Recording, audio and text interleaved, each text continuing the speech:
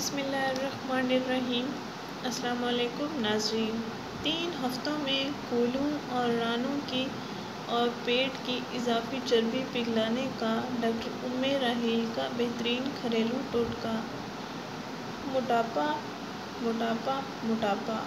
नाजरीन, हर तरफ़ ये मर्ज़ फैलता जा रहा है। मोटापा बच्चों, बूढ़ों और आजकल हर मर्द, औरत पर काबू पा चुका है। मोटापा बढ़ने की असल वजह से हमारे जिसम में चर्बी का बहुत ज़्यादा बढ़ जाना नाजीन हमारे जिसम में चर्बी बढ़ती चली जाए तो जिसम के कुछ अज़ा फैलते और ढीले होते चले जाते हैं और फिर लटक कर मोटापे की सूरत में वाजे हो जाते हैं। फूलों, रानों और पेट के अज़ा नरम होते हैं। इनमें चर्बी की ज़्यादा मकदार समा सकती है।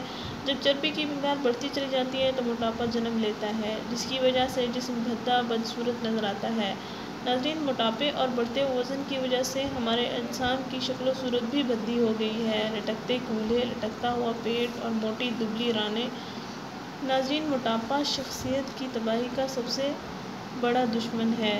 मोटापा, चर्बी, बढ़ता हुआ वज़न तमाम बीमारियों की जड़ है।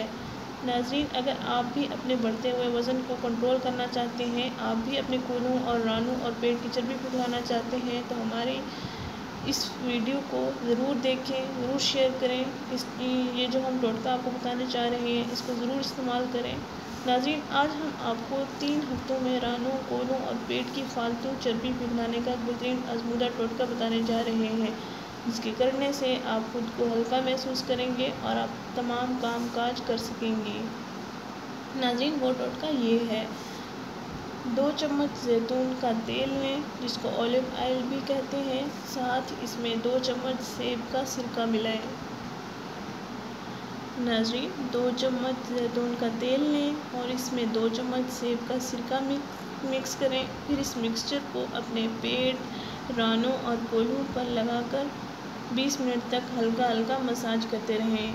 इसके बाद आधे घंटे यानी 30 मिनट के बाद आप नहा लें। नाजरीन, हमारी इस वीडियो को ज़रूर शेयर करें, हमारा चैनल ज़रूर सब्सक्राइब करें। इन आपको बहुत फ़ायदा हासिल होगा। शुक्रिया। अल्लाह हाफिज़।